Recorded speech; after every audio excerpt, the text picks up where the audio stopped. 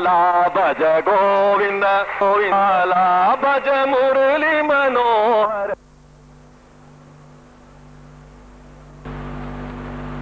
શ્રી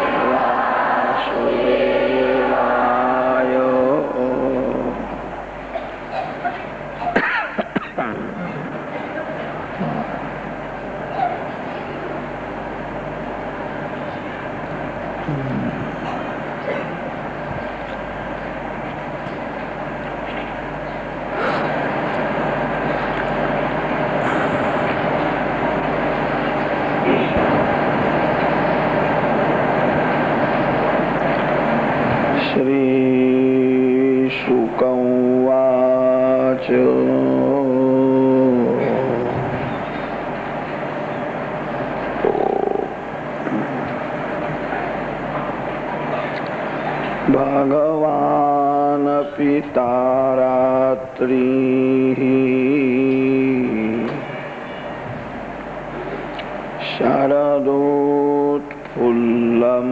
शरदोत्फुल्लमल्लिकाः वीक्ष्यरन्तुं मनश्चक्रे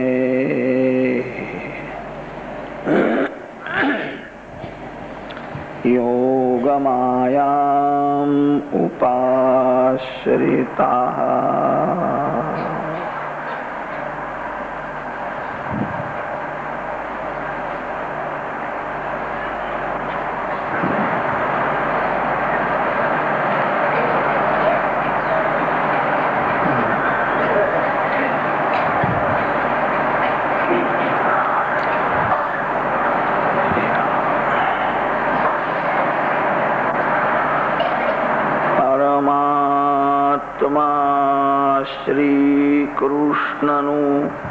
નામ સ્વરૂપ ભાગવત શાસ્ત્ર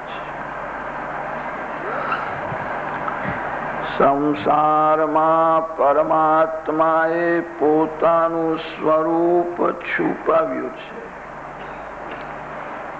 ભગવાન છે પણ ભગવાન દેખાતા નથી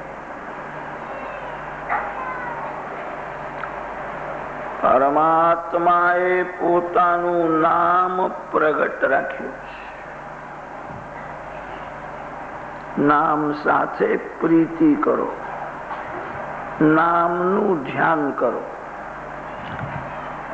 સ્વરૂપનું ધ્યાન કરવું બહુ કઠણ છે. નામનું ધ્યાન, નામનો જપ, નામનું સ્મરણ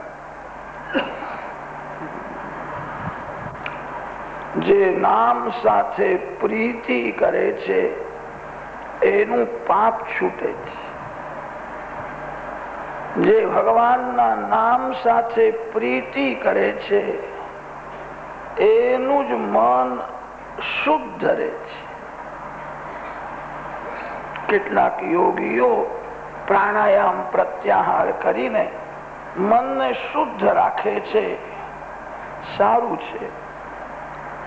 જ્યાં સુધી એ પ્રાણાયામ કરે છે, નાક પકડે છે, ત્યાં સુધી જ મન શુદ્ધ રહે છે. પ્રાણાયામ છોડ્યા પછી યોગીઓનું પણ મન ચંચલ થઈ જાય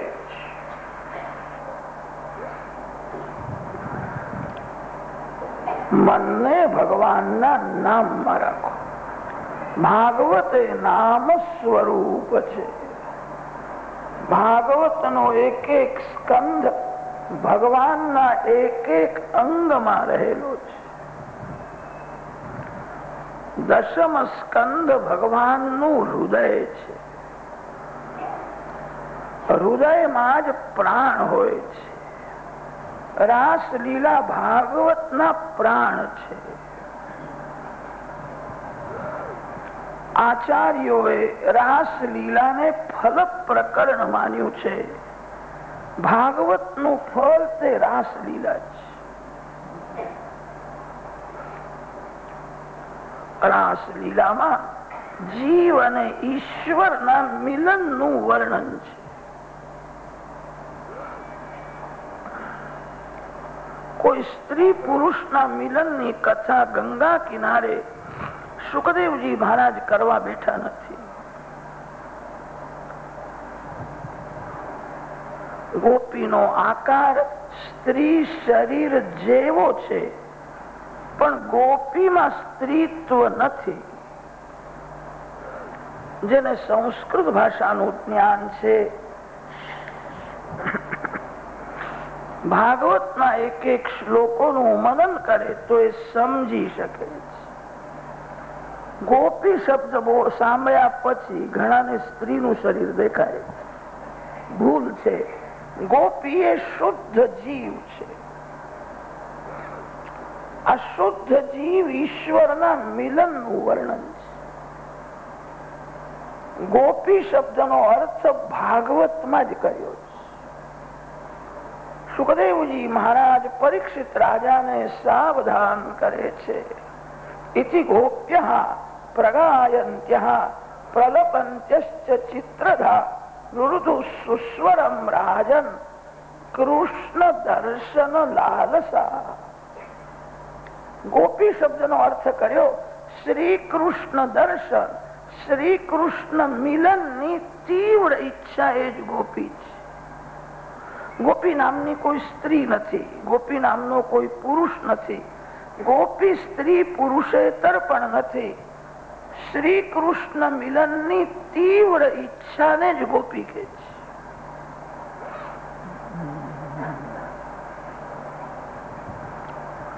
મોટા મોટા ઋષિઓ ગોપી થઈને આવ્યા છે.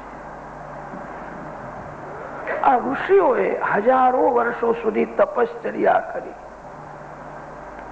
જંગલમાં ઝાડના તળે બેસીને ધ્યાન કર્યું, જપ કર્યો. પાન અને ફળમાં સંતોષ માન્યો. એવા ઋષિઓને પણ કોઈ કોઈ વખત કામ ત્રાસ આપે છે. બંગલામાં રહેનારને જ કામ ત્રાસ આપે છે એવું નથી. જંગલમાં રહેનારને પણ કામ ત્રાસ આપે છે. કામ બળવાન છે. કામ એ જ સંસાર છે. કામ નથી તો સંસાર પણ નથી. આ સંસારનું મૂળ કામ છે. જ્યાં જુઓ ત્યાં કામનું જ રાજ દેખાય છે. બધા જ કામાધીન થઈને પ્રવૃત્તિ કરે છે. સંસારને જોવાથી મન બગડવાનો સંભવ છે. સંસાર કામમય છે. તમે કોઈ દિવસ કાંદા ખાતા નથી. પણ તમે કાંદા ખાનાર પાસે બેસો ને તો દુર્ગંધ આવશે. કેટલાક ને કાંદાની વાસ સારી લાગે છે કેટલાક ને સહન થતી જે ખાતા નથી. કામમય સંસારમાં જે રહે છે, કામાધીન જીવો સાથે જેને રહેવું પડે છે. એના મન ઉપર કામની થોડી પણ અસર થાય. ઋષિઓ થાકી જાય છે. કામ છોડતો નથી. કામ બહુ બળવાન છે. શું કરીએ? આ બળવાન કામને મારવો છે. જીવ શક્તિનો વિનાશ કરીને બેઠો છે. શત્રુ બહુ બળવાન છે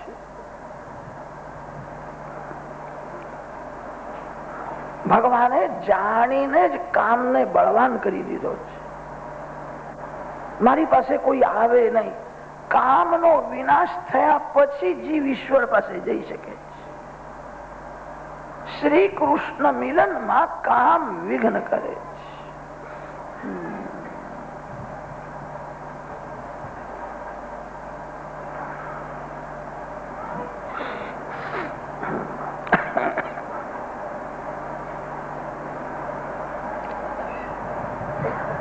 ઋષિઓને પણ કામ બહુ ત્રાસ આપવા લાગ્યો.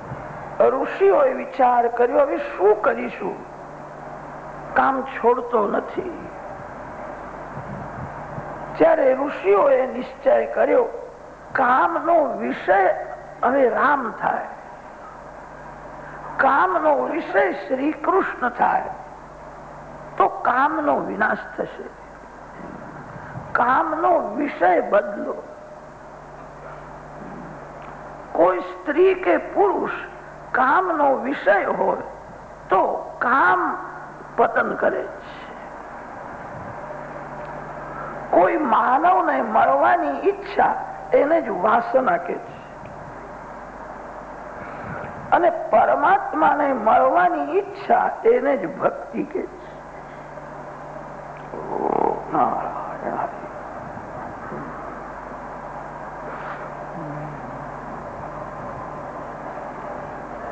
કામ બધાને જ દુઃખ આપે બધાને રડાવે છે.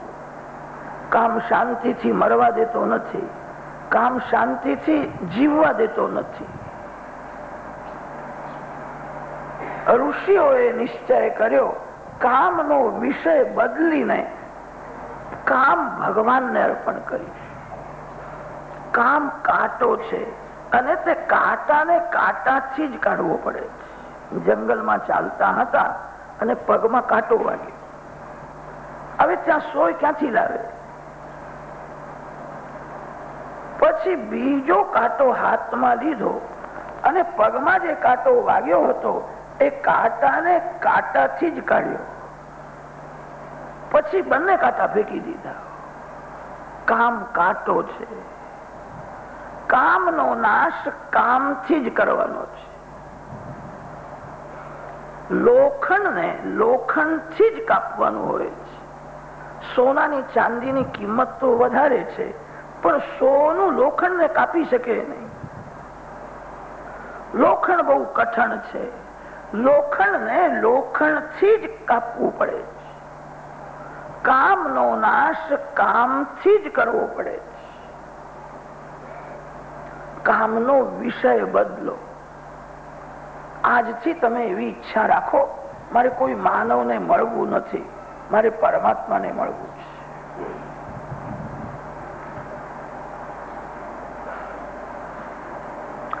ઈચ્છા જેની શુદ્ધ છે, એની જ ક્રિયા શુદ્ધ થાય. જેની ઈચ્છા અશુદ્ધ છે, એની ક્રિયા પણ અશુદ્ધ રહે છે. તમે કોઈ માનવનો મળો છો ત્યારે તમને સુખ થાય છે. તમે ભગવાનને મળશો, તમને કેવો આનંદ થશે? એવી ઈચ્છા તો રાખો કે મારે ભગવાનને મળવું છે. મારે પરમાત્મા સાથે એક થવું છે. ઋષિઓએ નિશ્ચય કર્યો, કામ શ્રી કૃષ્ણને અર્પણ કરીશું. કામનો વિષય શ્રી કૃષ્ણ થાય, ભગવાનને મળવું છે, ભગવાનને મળવું છે.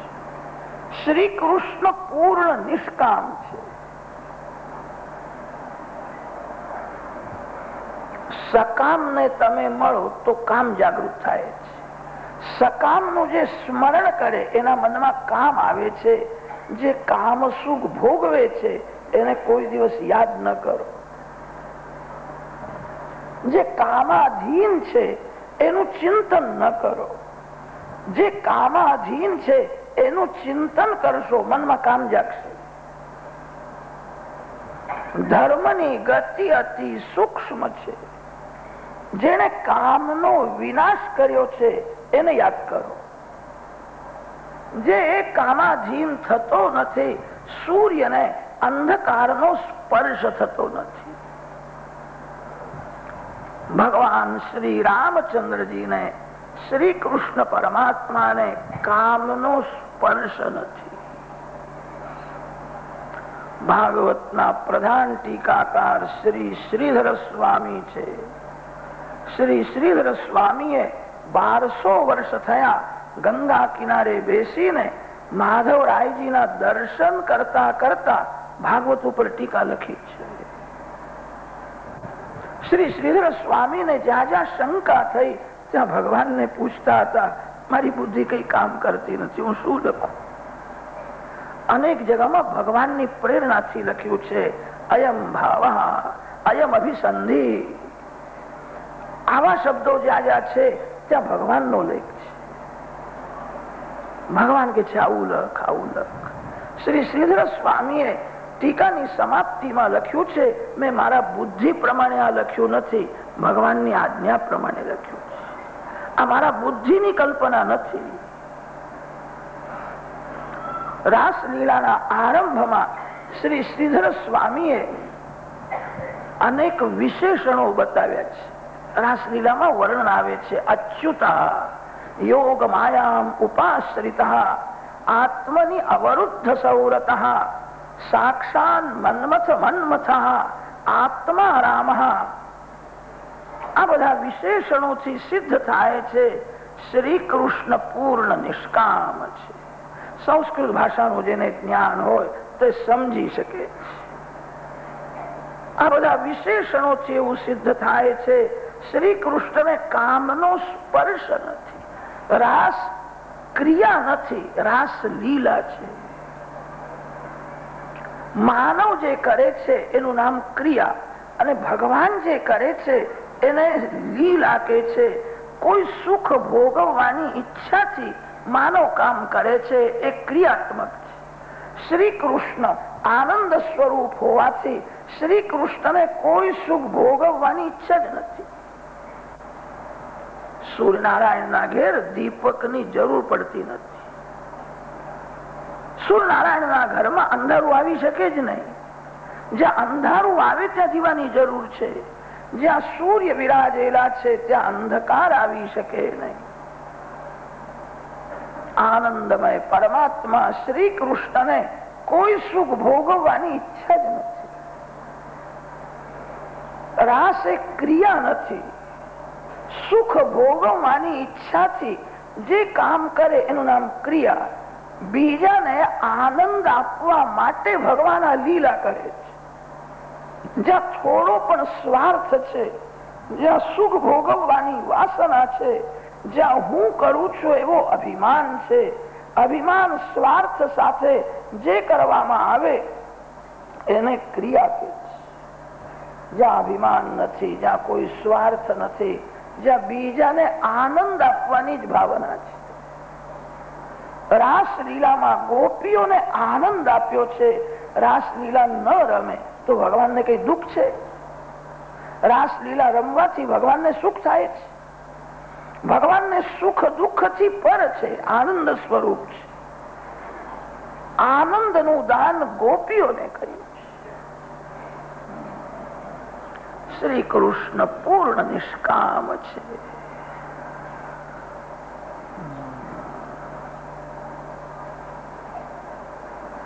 નિષ્કામ ને કામ આપો. નિષ્કામ ને મળવાની ઈચ્છા રાખો. નિષ્કામનું ચિંતન કરો. સંસાર સકામ હોવાથી માનવ પ્રાય સંસારનું કામનું જ ધ્યાન કરે. છે જેને કામનો વિનાશ કર્યો છે જેને કામનો કોઈ દિવસ સ્પર્શ થતો નથી, એનું ધ્યાન, એનું ચિંતન કરો. તેથી તો સંતો વારંવાર સમજાવે છે, સંસારનું ધ્યાન છોડો. સંસાર સકામ છે. શ્રી રામ, શ્રી કૃષ્ણ નિષ્કામ છે. ધ્યાન નિષ્કામનું કરો. નિષ્કામ ને મળવાની ઈચ્છા રાખો. તમે નિષ્કામ થઈ જશો. જે સકામ ને મળે છે, જે સકામનું સ્મરણ કરે છે, ત્યાં કામ જાગે છે જે કામાધીન છે, એને કોઈ દિવસ યાદ ન કરો. શ્રી રામ શ્રી કૃષ્ણ ભગવાન, શંકર પૂર્ણ નિષ્કામ છે એમને મળવાની ઈચ્છા રાખો. મોટા મોટા ઋષિઓ, તપશ્ચર્યાનું અભિમાન છોડીને ગોકુળમાં ગોપી થઈને આવ્યા છે. પરમાત્માને મળવું છે. પરમાત્મા સાથે એક થવું છે. માટે ઋષિ ગોપી થઈને આવ્યા છે. આ શુદ્ધ જીવ ઈશ્વરના મિલનની કથા છે. રાસલીલાના એક એક શબ્દોનો વિચાર કરો તો ધ્યાનમાં આવે છે. ગોપીઓનું પાંચભૌતિક શરીર બળી ગયું હતું. ગોપીના શરીરમાં શ્રીઅંગમાં મળમૂત્ર નથી રુધિર માંસ નથી. ગોપીનું શ્રીઅંગ ભગવાનના જેવું થયું છે. ગોપીના શરીરને પ્રભુએ સ્પર્શ કર્યો નથી.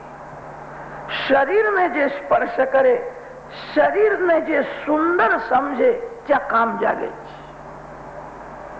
શરીર સુંદર છે. આ કલ્પનાથી જ કામની ઉત્પત્તિ થઈ. મળમૂત્રથી ભરેલા શરીરને સુંદર સમજવું, એના જેવું અજ્ઞાન કર્યું ભગવાનનું શ્રીઅંગ મળમૂત્રથી રહિત છે. વિયોગ અગ્નિમાં ગોપીઓનું પાંચ ભૌતિક શરીર બળી ગયું છે. વિયોગ અગ્નિ સમાન છે. પતિ પરદેશમાં હોય, તો પતિવ્રતા સ્ત્રી પતિના વિયોગમાં ઝૂરે છે. એને પતિદેવ યાદ આવે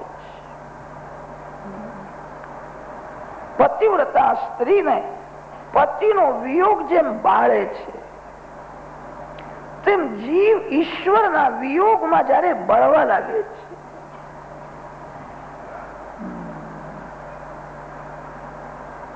વિયોગ અગ્નિ છે.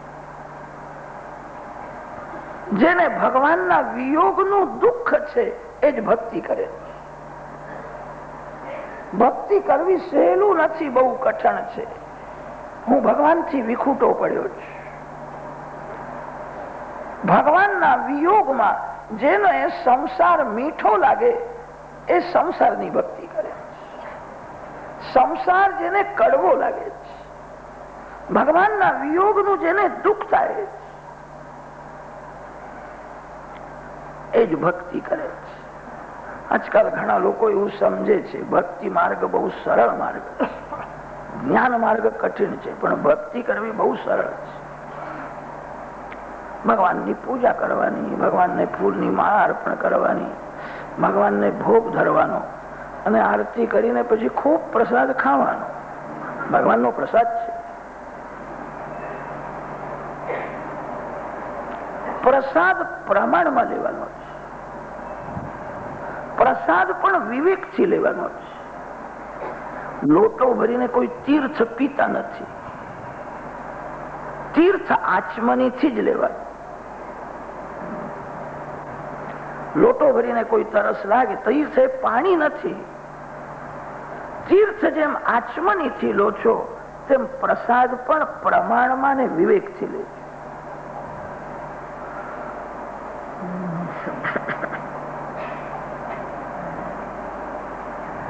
એવો પ્રસાદ શાકામનો જે પ્રમાદ કરાવે. એવો પ્રસાદ શાકામનો જ કે જે આળસ ઉત્પન્ન કરે. બહુ પ્રસાદ ખાય ને કે આળસ આવે એવો પ્રસાદ શાકામનો જે મનને બગાડે. એવો પ્રસાદ શાકામનો જે વિકાર વાસનાને વધારે. પ્રસાદનો અર્થ એ છે મન પ્રસન્ન રહે મન અતિ શાંત રહે ભક્તિ માર્ગ કઠિન છે. ભક્તિ કરવી સહેલું નથી. સંસારનું બધું સુખ જેને દુઃખરૂપ લાગે છે. એ જ ભગવાનની બરાબર ભક્તિ કરી શકે છે. સંસારનું કોઈ પણ સુખ જેને મીઠું લાગે એ ભગવાનની ભક્તિ કરતો નથી.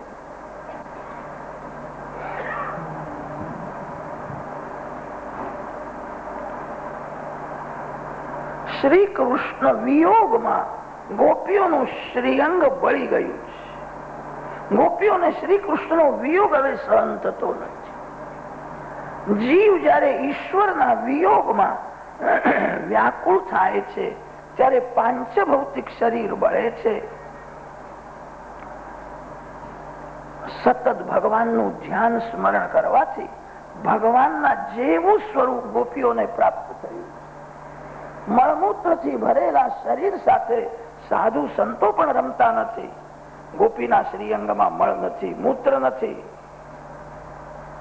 ગોપીનું શ્રીઅંગ ભગવાનના જેવું અતિ દિવ્ય થયું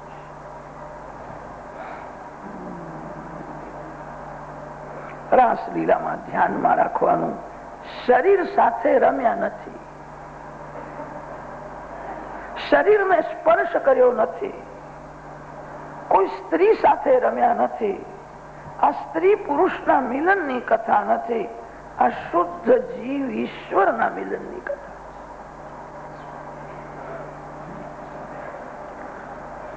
પ્રેમ જ્યારે અતિશય વધે છે, ત્યારે પ્રેમી પ્રિયતમથી અલગ રહી શકતો નથી.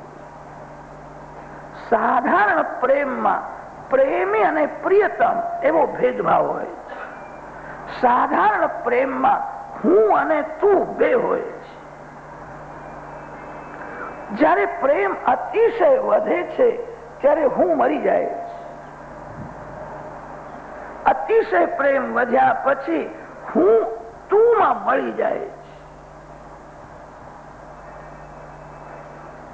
આજ ગોપી શ્રી કૃષ્ણના મિલનની કથા છે. ગોપીનો પ્રેમ એટલો બધો વધી ગયો, હવે શ્રી કૃષ્ણથી અલગ રહેવું એ ગોપીને અશક્ય છે. ગોપીના પ્રાણ વ્યાકુળ થયા છે, હવે ભગવાનથી અલગ રહી શકે જ નહીં. ત્યારે ભગવાન બોલાવે છે, રાસમાં રમે છે. રાસમાં ગોપી અને શ્રી કૃષ્ણ એક થયા છે.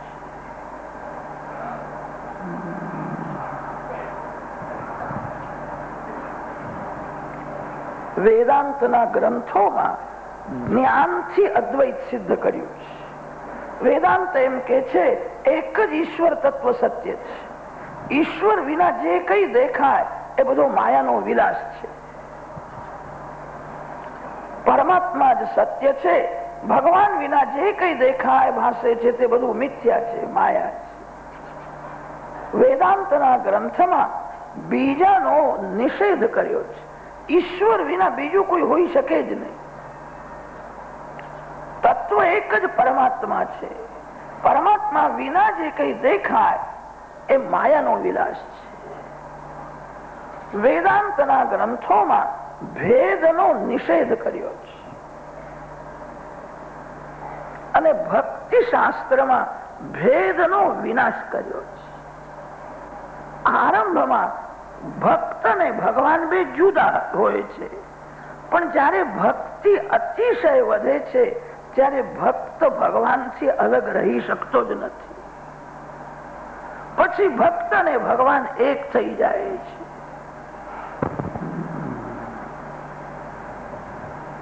ગોપી અને શ્રી કૃષ્ણ એક થયા છે. પ્રેમની છેલ્લી કક્ષા મૂર્છા છે. ગોપી અનેક વાર રડતી હતી. હવે આંખમાં આંસુ પણ આવતા નથી. ગોપીનો પ્રેમ બહુ વધી ગયો છે. કૃષ્ણ કૃષ્ણ બોલે છે. ત્યારે શ્રી કૃષ્ણનું સ્વરૂપ દેખાય છે, ક્યારે મળશે? ગોપીને મૂર્છા આવે છે. ભગવાનનો વિયોગ સહન થતો નથી. ગોપીના માટે ભગવાનથી અલગ રહેવું અશક્ય થઈ ગયું પ્રેમની છેલ્લી કક્ષા મૂર્છા છે. પ્રિય તમને યાદ કરતા દેહનું ભાન રહેતું નથી અને મૂર્છામાં પડે ગોપીને મૂર્છા આવે કે શ્રી કૃષ્ણ કાનમાં સમજાવે. આ તારો છેલ્લો જન્મ છે. શરદ પૂર્ણિમાની રાત્રે હું તને મળવાનો છું. પ્રભુએ ગ્વાલ બાલ મિત્રોને કહી રાખ્યું હતું. કોઈને પણ મૂર્છા આવે ને તો મને ખબર આપજો. મારા ગુરુએ મને એક મંત્ર આપ્યો છે. અને તે મંત્ર હું કાનમાં આપું કે મૂર્છામાંથી જાગશે. ગોપી અતિશય પ્રેમમાં શ્રી કૃષ્ણનું સ્મરણ કરતી જયારે મૂર્છામાં પડે છે, ત્યારે ભગવાન કાનમાં મંત્ર આપે છે. તારો છેલ્લો જન્મ છે. શરદ પૂર્ણિમાની રાત્રે હું તને મળવાનો છું. મિલનમાં જે આનંદ થાય છે એ જ આનંદ મિલનની આશામાં પણ થાય. પ્રભુએ મને અપનાવી છે. ભગવાન મળવાના છે. શરદ પૂર્ણિમાની રાત્રે ભગવાન મને મળશે. મારો આ છેલ્લો જન્મ છે. ગોપીના કાનમાં ભગવાન આટલો જ મંત્ર આપતા હતા. તારો છેલ્લો જન્મ છે. શરદ પૂર્ણિમાની રાત્રે હું તને મળવાનો છું. ગોપીને આનંદ થાય. મૂર્છામાંથી ગોપી જાગે છે. કૃષ્ણ કથા સાગર જેવી છે. સંતો અનેક ભાવ બતાવે છે.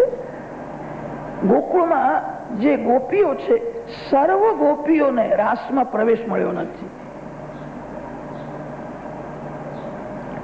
જેને ભગવાન અપનાવે છે, એને જ રાસમાં પ્રવેશ મળ્યો છે. રાસલીલામાં જે વાસળી વગાડી એ વ્રજવાસીઓ સાંભળી શક્યા નહીં.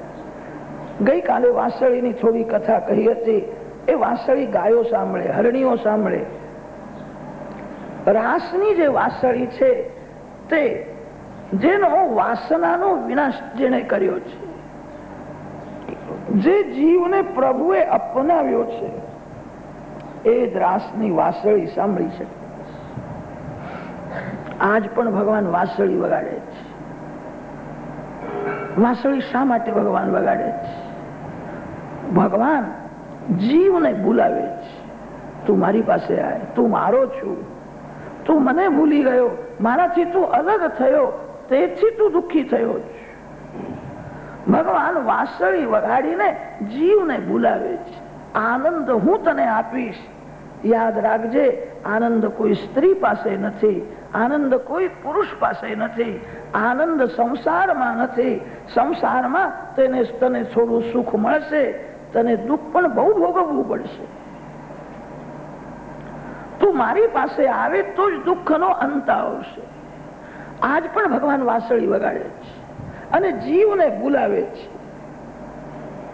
જીવ સંસારમાં એવો ફસાયેલો છે. ભગવાનની વાસળી સાંભળતો જ નથી. રાસલીલામાં ભગવાન વાસળી વગાડે છે, તે ગોવાળોએ સાંભળી જ નથી. જેનો વાસનાનો પડદો દૂર થયો છે, એ જ રાસની વાસળી સાંભળી શકે, રાસમાં સર્વ ગોપીઓને પ્રવેશ મળ્યો નથી. જે જીવને પ્રભુએ અપનાવ્યો છે, જેનો છેલ્લો જન્મ છે જેનો પ્રેમ પરિપૂર્ણ થયો છે, એવા જીવને જ રાસમાં પ્રવેશ મળે છે. સાધારણ માનવ રાસલીલાની કથા કરવા લાયક નથી. અને સાધારણ માનવ રાસલીલાની કથા સાંભળવા પણ લાયક નથી. જેને વાસનાનો વિનાશ કર્યો છે, ચિરહરણ લીલામાં પ્રભુએ વાસનાનો વિનાશ કર્યો છે. વસ્ત્ર શરીરને ઢાકે છે વાદળું સૂર્યને ઢાકે છે અને વાસના ભગવાનને ઢાકે છે. જગતને સૂર્ય પ્રકાશ આપે છે, પણ આકાશમાં થોડું નાનકડું વાદળું આવી જાય તો સૂર્ય દેખાતા નથી. વાદળું જેમ સૂર્યને ઢાકે છે, તેમ વાસના ભગવાનને ઢાકે છે. જીવ ઈશ્વર બંને સાથે જોવે છે. આ વાસનાનો પડદો હોવાથી જીવને ઈશ્વરનો અનુભવ થતો નથી. શ્રીહરણ લીલામાં પ્રભુએ વસ્ત્ર દ્વારા વાસનાનો પડદો દૂર કર્યો છે. કોઈ વાસના રહી નથી. ગોપી અતિ શુદ્ધ ભાવ છે. શ્રી કૃષ્ણ મિલનની તીવ્ર ઈચ્છા થાય છે અને ત્યારે મૂર્છામાં પડે ગોપીનું શ્રીઅંગ ભગવાનના જેવું જ થયું છે. ગોપીના શ્રીઅંગમાં મળમૂત્ર નથી. ગોપીનું શ્રીઅંગ દિવ્ય છે. ગોપી સ્ત્રી નથી ગોપી પુરુષ નથી. ગોપી શબ્દનો અર્થ ભાગવતમાં જ કર્યો છે.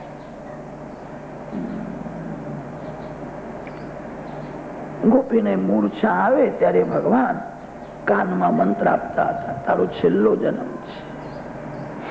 ગોકુળમાં એક ડોશીમાં રહેતા હતા.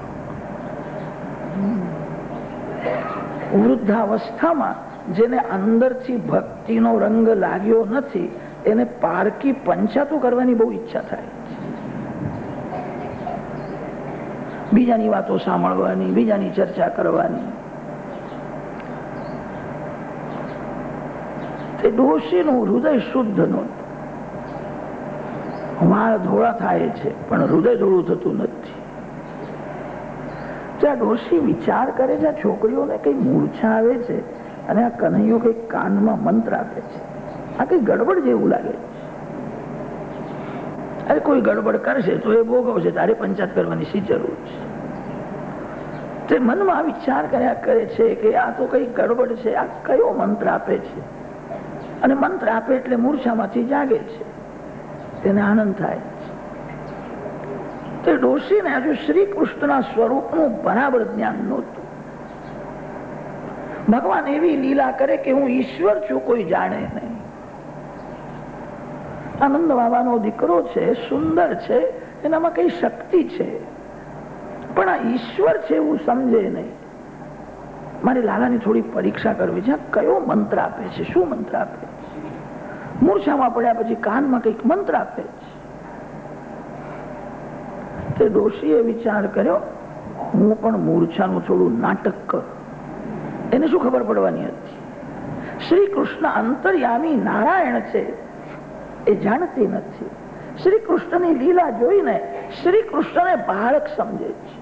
એનામાં કે થોડી શક્તિ છે. પણ ઈશ્વર છે, હું કેવી રીતે માનું? આ કઈ ગડબડ છે. આ ગોપીઓને મૂર્છા આવે છે અને આ કાનમાં કંઈક મંત્ર આપે છે. તે ડોશીએ ઘરના છોકરાઓને, વહુને બધાને કહી રાખ્યું, આજકાલ મારી તબિયત બગડી છે હો. કદાચ મને મૂર્છા આવે તો લાલાને બોલાવજો પછી. હવે જેને મૂર્છા આવવાની હોય એ પહેલાથી કે જાહેરાત કરી રાખે છે કે મને મૂર્છા આવે તો આવું કરો. મારી તબિયત સારી નથી. કદાચ મને મૂર્છા આવે તો બાલકૃષ્ણને કનૈયાને બોલાવજો. ડોશીનું કપટ ઘરના લોકો પણ બરાબર સમજી શક્યા. એના મનમાં કઈ પાપ છે. એને વિચાર કર્યો કે હું મૂર્છાનું નાટક કરું કે બધા ભગવાનને ભૂલાવશે અને કૃષ્ણ મારા કાનમાં કંઈક મંત્ર આપશે. મારે જાણી લેવો છે, એનો મંત્ર છે.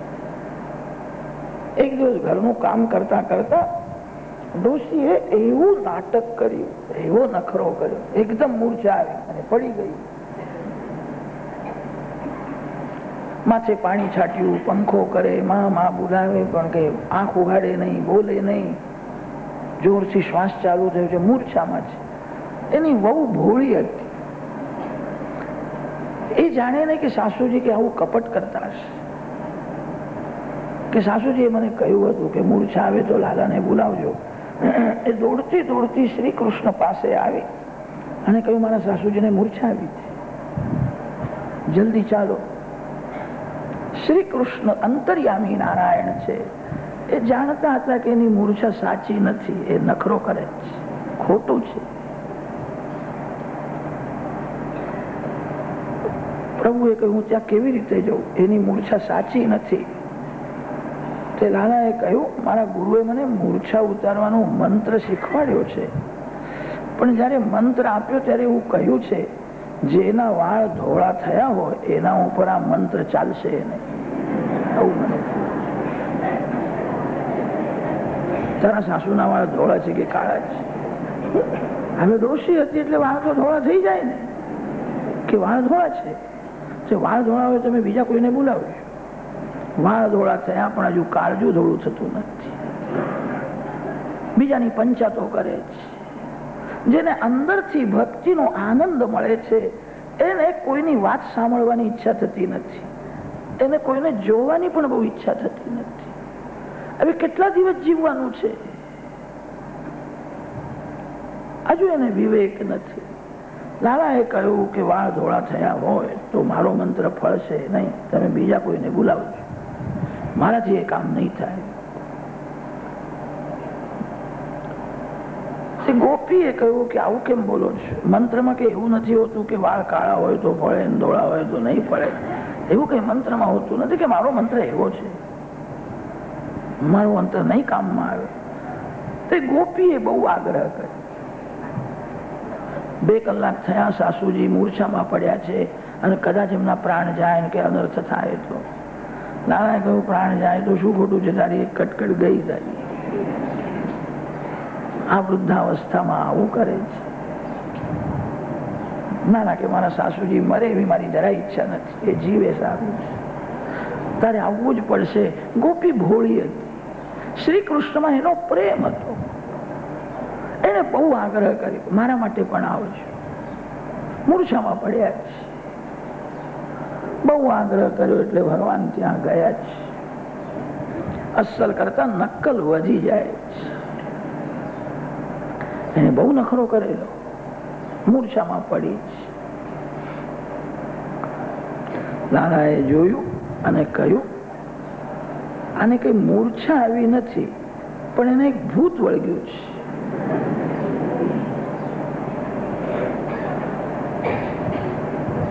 ઘરના બાળકો બધા છોકરાઓ ગભરાયા કનૈયા ભૂત વળગ્યું છે. હવે શું થશે? કે અત્યારે નહીં, રાત્રે બાર વાગ્યા પછી ભૂતનું જોર વધી જાય છે. રાતના બાર વાગ્યા પછી તમને બધાને પજવશે, બહુ ત્રાસ આપશે. બધા ગભરાયા કે ભૂત વળ્યું છે, ભૂત વળ્યું છે. દાદાએ કહ્યું કે ગભરાશો નહીં. મને ભૂત ઉતારવાનો મંત્ર પણ મારા ગુરુએ શીખવાડ્યો છે કનૈયા, તને ભૂત ઉતારવાનો મંત્ર આવડે છે? કે આવડે છે? તો કે તું ભૂતને કાઢી નાખ દાદાએ કહ્યું કે ભૂત કે એવી રીતે નીકળે, એને લાકડીથી મારવું પડે.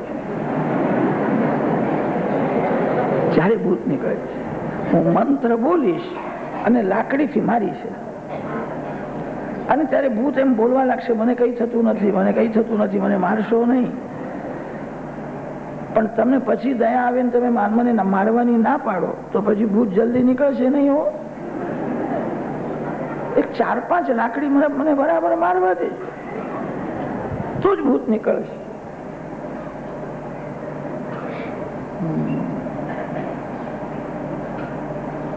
લાકડી આપી છે કે કનૈયા ભૂત કાઢી નાખે લાલાને કોઈ મંત્ર બોલવો નહોતો. સમજી ગયા હતા કે આ તો નખરો કરે એના મનમાં શુદ્ધ ભાવ નથી. એના મનમાં કપટ છે. લાકડી મારી છે. એક લાકડી મારી તે ડોશી બહુ ગભરાઈ કે મારા છોકરાઓએ કહ્યું છે કે ચાર પાંચ લાકડીઓ મારો એ તો ભૂત રહી જશે. ચાર પાંચ લાકડી મારે તો મારો છેલ્લો જ વરઘોડો નીકળશે. તે ડોશીએ હાથ જોડીને કહ્યું મેં બધું ખોટો ખોટો નખરો કર્યો હતો. મને કઈ થયું નથી. ભક્તિ માર્ગમાં દંભ કરવો નહીં. પારકી પંચાતો